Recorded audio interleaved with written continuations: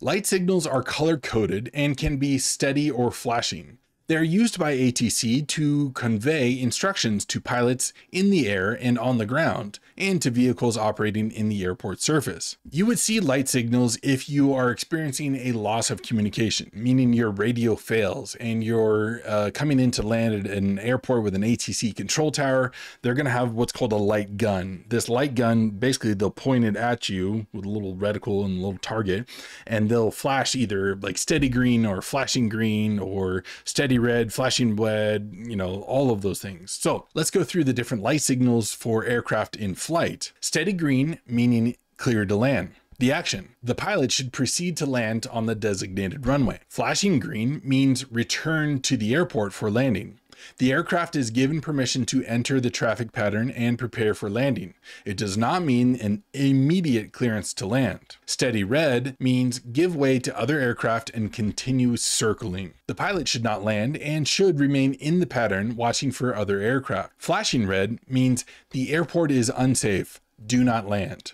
The pilot should not attempt to land and should divert to another airport if necessary. Flashing white is not applicable to aircraft in flight so no action is required from the aircraft. Alternating red and green says exercise extreme caution. The pilot should proceed with caution, being aware of the potential hazards or conflicting traffic. Light signals for aircraft and vehicles now on the ground. The steady green means cleared for takeoff or cleared to cross slash proceed slash go for vehicles. Aircraft should proceed with takeoff and vehicles should cross the runway or move as directed. Flashing green means cleared to taxi or cleared to move. Cleared to taxi if you're an aircraft or cleared to move for vehicles.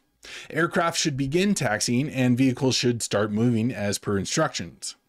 Steady red on the ground means stop aircraft and vehicles should come to a complete stop immediately. A flashing red on the ground means taxi clear of the runway in use for aircraft, or if you're a vehicle, then clear the runway immediately. Aircraft should vacate the runway and vehicles should exit the runway or taxiway immediately. On the ground, flashing white means return to the starting point on the airport for both aircraft and vehicles.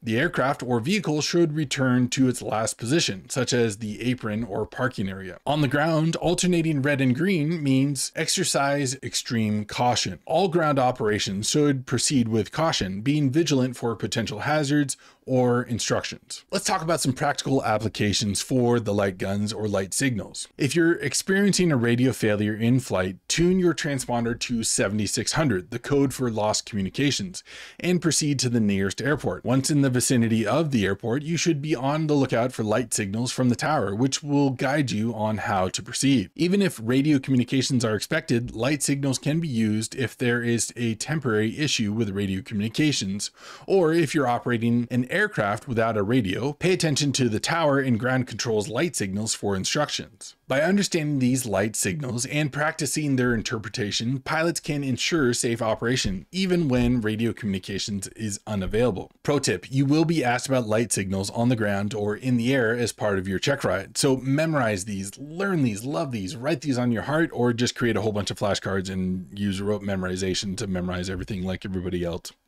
If you're ready to get serious about learning how to fly helicopters, head over to 3gheliprep.com. It's like these videos, but way more structured and a lot closer to making you a real pilot. You won't regret it, unless you hate helicopters, in which case I'm not sure why you're even still watching this.